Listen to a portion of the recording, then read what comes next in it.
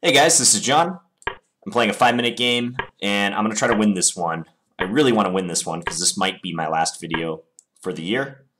We got another Grunfeld. I'm going to go Bishop D2 again. I just posted the game uh, where I played this against Artemiev. Okay, this was the line that I thought was normal.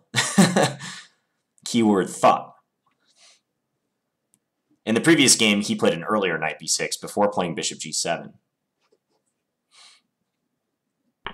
So I just wanted to say thank you guys for tuning into my channel. I've only been doing this for um, honestly a few months, posting videos regularly. But um, I've been pretty overwhelmed with the feedback I'm getting, just overwhelmingly positive feedback from my subscribers and viewers. So thank you guys so much. I've had a lot of fun doing this, and uh, I hope to continue to do it in 2015. I'm not going to slow down in any regard. So if you want to feel free to leave me some comments about what you'd like to see on the channel in 2015 because uh, I'm always looking for feedback. I'd love to hear your guys' thoughts about what I'm doing right, what I can improve on. I'm going to give them a check here. Check. Because um, I make these videos for you guys and also because I enjoy it. So if you have something you'd like to see me do, um, I'm planning on branching out with some of the content, maybe doing like more instructional series. Um, let's play bishop e2 in this position, by the way. Um, maybe doing more of my game review for over the board games. People have been asking for that quite frequently. So yeah, let me know what you guys want to see, what you'd like to see on my channel in the coming year. I played b3 just to stop him from coming to c4, making use of that square.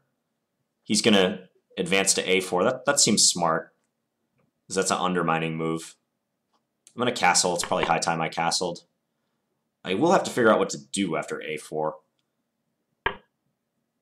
I could take it. He takes with his knight.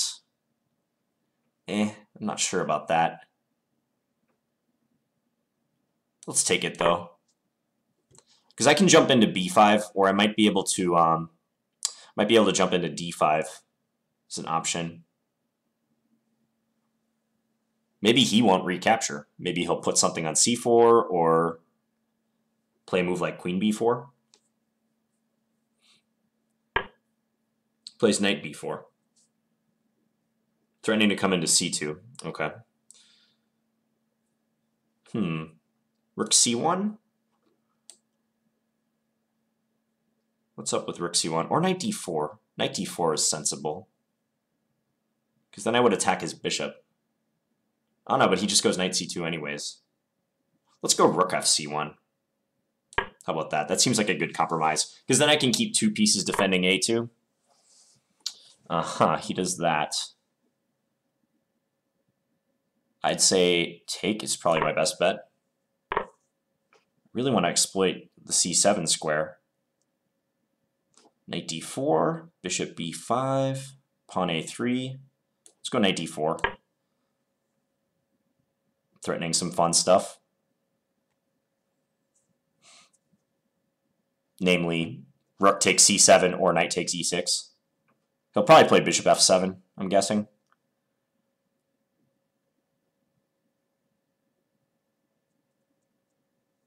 That's what I would do if I was him.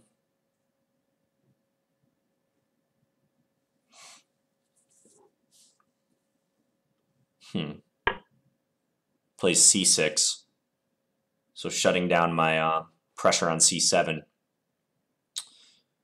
Okay. Well, I'm going to get rid of this Check. this bishop.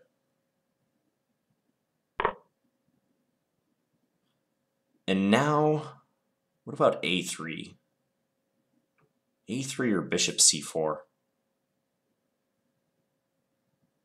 a3 he can maybe pin me with rook fc8, rook fa8 I mean.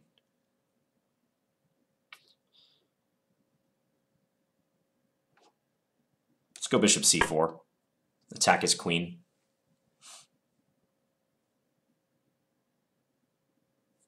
Because I want to put this bishop on b3. I think that would be a strong diagonal. Also would threaten his rook. So he goes queen e5. Should I back him off?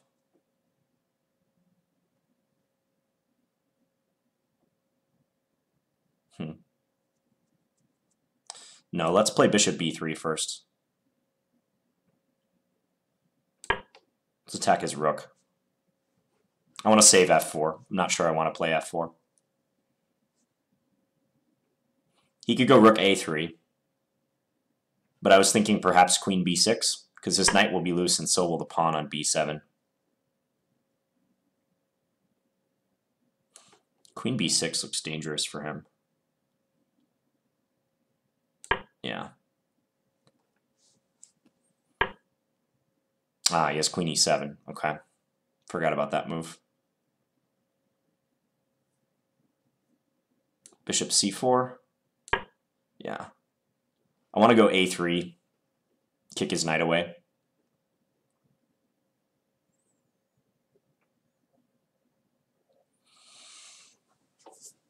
Hmm.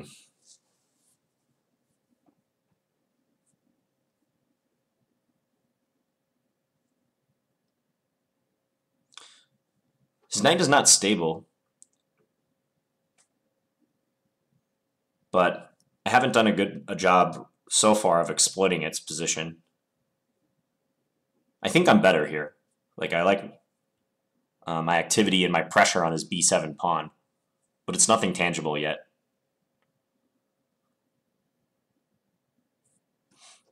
Rook ab1 could come, because then if he takes on a2, maybe I have rook c2, and his knight is on the verge of being trapped. So I have options like that in the air. He's spending a lot of time. F5, wow. Wasn't expecting that.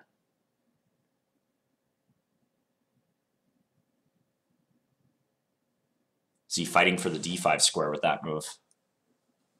Well, first thing I'm going to do is play rook here. Yeah, just to see what he does with his knight.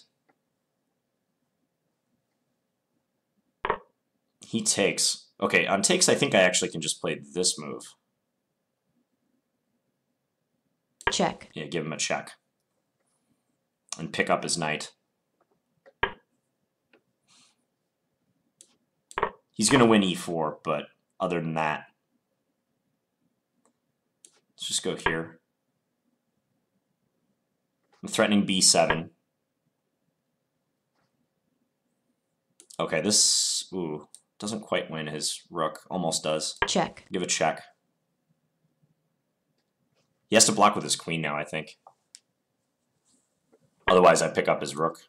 Check. So I'll do that, and then I'll take this guy. He pins me, but I can come back.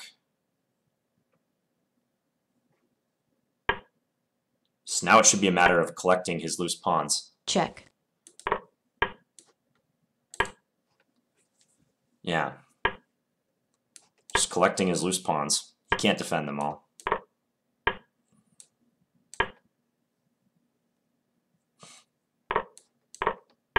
Yeah, and this is going to be decisive soon. Provided I can win this endgame. Which would be embarrassing if I could not.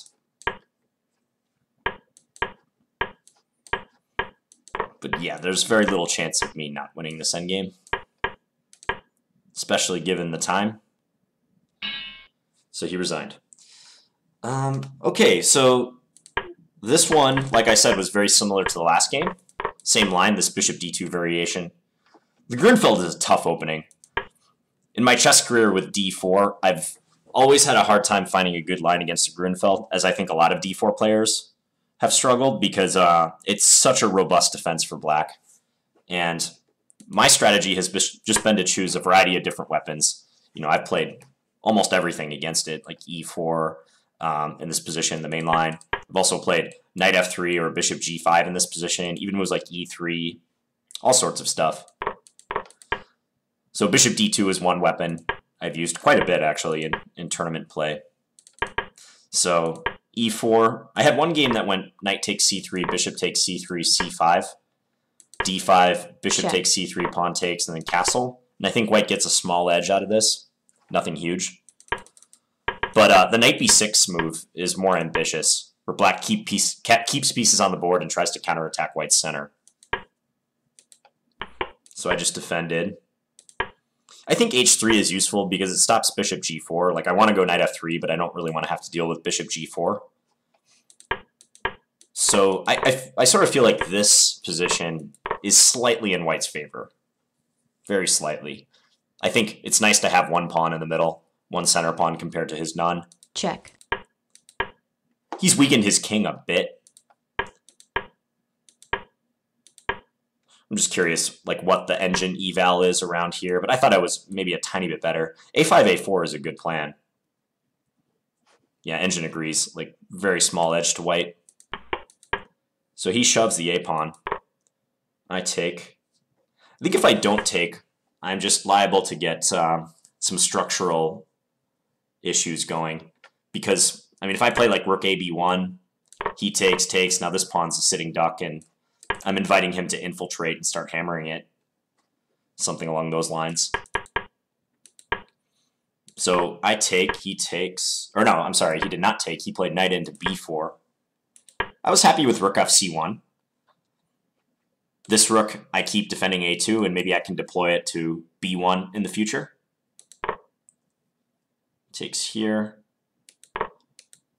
Round about here, it's it's it's likely I have something better than what I did because I played knight d4.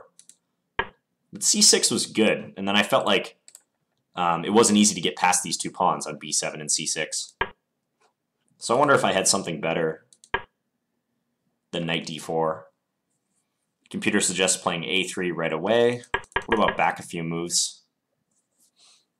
Hmm. It says if I'm going to play knight d4, I should do it in this position. Did I think about that? Maybe not. That does cover c2. So the timing is uh, just superior, it seems, on this move.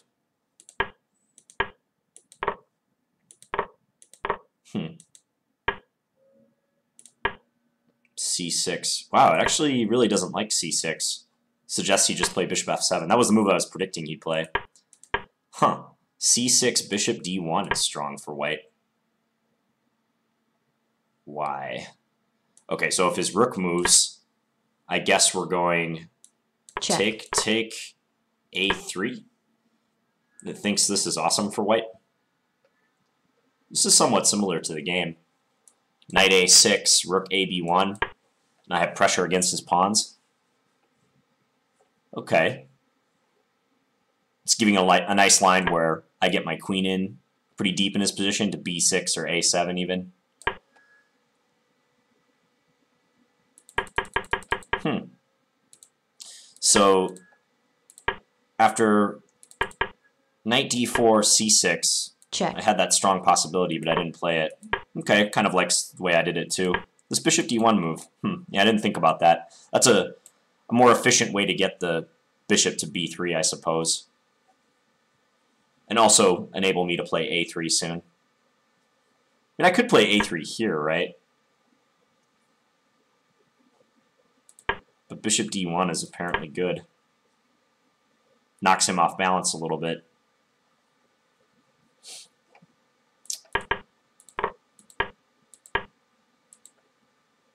So here I played, what, rook a b1? No, I played bishop b3. Okay. Sorry, my ICC is lagging a little bit.